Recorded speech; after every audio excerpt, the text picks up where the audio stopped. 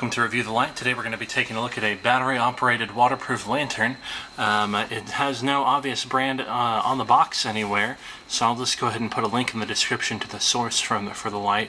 But um, and it's a little bit different than most of the lights I review, but I thought I'd uh, looked interesting, useful for camping, so I thought I'd take a look. If you want to see any of the sides of the boxes um, in more detail as I was turning it around, feel free to go back and pause it and take a closer look at any of the pictures or specifications on the box. Um, here's the light itself. It looks uh, kind of like a jug of some sort, and um, one of the main features of this is that it's supposed to be waterproof, which I'll be testing out here in a little bit before I take it outside. Um, the instructions are here inside of the light. I will hold those up, try and get some contrast for you so you can see if you want to take a look at those specifications. Um, that's that side. Feel free to pause it again if you want to take a closer look. Uh, I'll just mention here that it says that the maximum high mode is over 100 lumens and runs for over 10 hours. And this is off of three AAA batteries. So um, that's the specifications for it there. So the way that this kind of works is you have this compartment in here that you can store things that you don't want to get wet while you're camping or just running around outside doing else whatever else you want to do. It's not really designed so much as like a water bottle. I feel like it'd be awkward to drink out of. I would go to like pick it up and just have water falling out because it's so floppy. Um, you could probably use it for a water bottle in a pinch. This appears to be sealed up here where the electronics are. Um, um, they don't specify that so much. I think it's mainly for storing things inside. Now, uh, one of the things that it specifies is, for example, your electronic devices or that sort of thing. The hole on the top here is a little bit too large for me to fit my phone and I have an HTC One. It's a fairly common phone and uh, I can't fit it through there but um, this is also good for uh, washing it if it gets dirty. These little plastic pieces come out. Just kind of remember the order that you took them out in.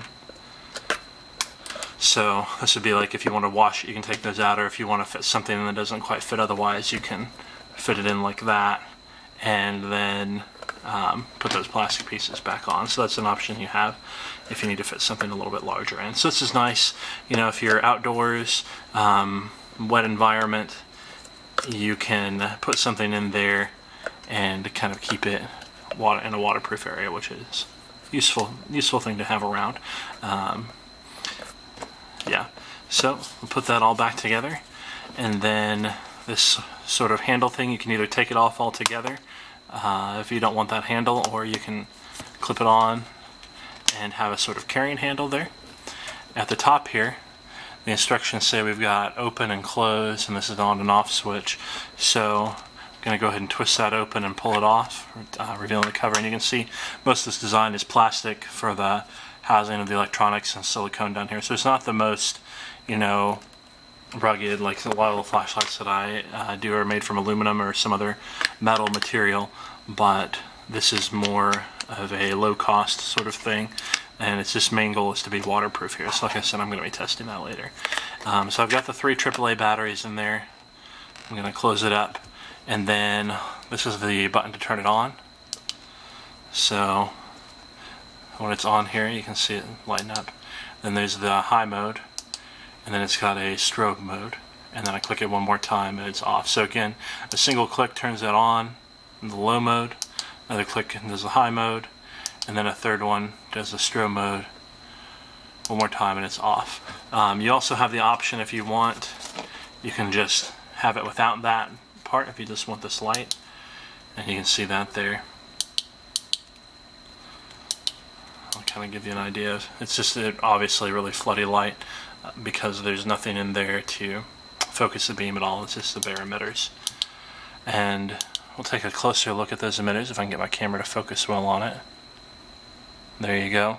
Now you can see these, um, I don't believe the instructions say anything, the documentation says what brand these emitters are. They don't look like really any Cree emitter that I'm extremely familiar with, so I don't know what brand these are. Uh, not a brand of emitter that I know off the top of my head, but you can see those three emitters there.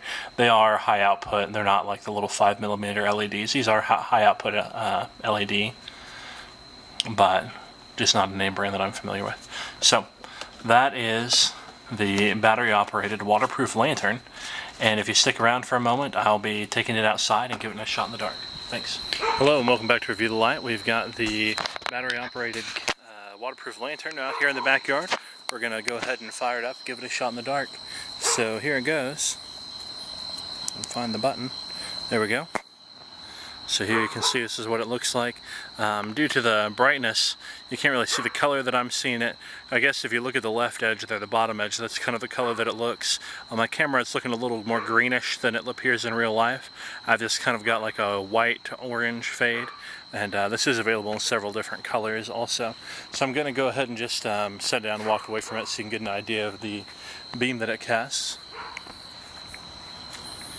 If I were to set it there for instance.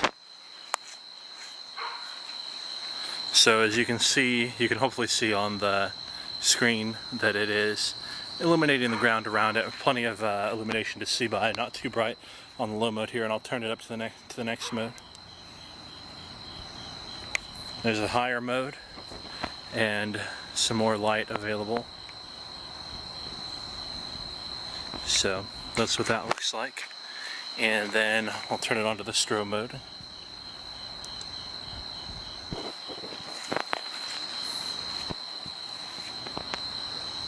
There's the strobe.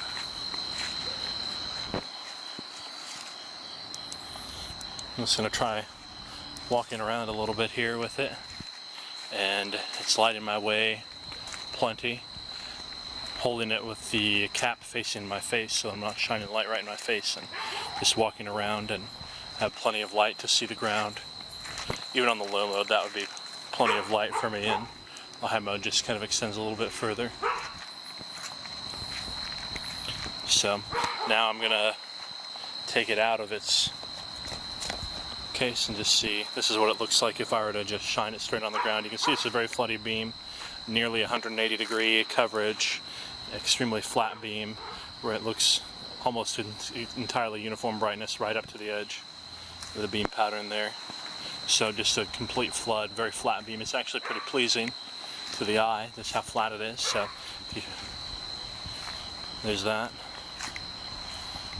And if I were to, unfortunately the hang clip, it would be nice if the hanging handle were attached to the lid and not the uh, bucket as it were, so that if I wanted to hang it somewhere with its, with just the lid, I could do that, but um, that's not really an option, but I could still like leave that there.